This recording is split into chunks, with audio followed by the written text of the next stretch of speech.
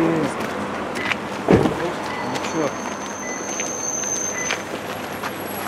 Управление службы. Что вы здесь делаете? Ростехнадзор приехал. Так, кому? Инспектору Ростехнадзора. Передавали денежные средства? Денежные средства. нет. Не передавали. Бонус передавали. Бонус в каком размере? 60 тысяч.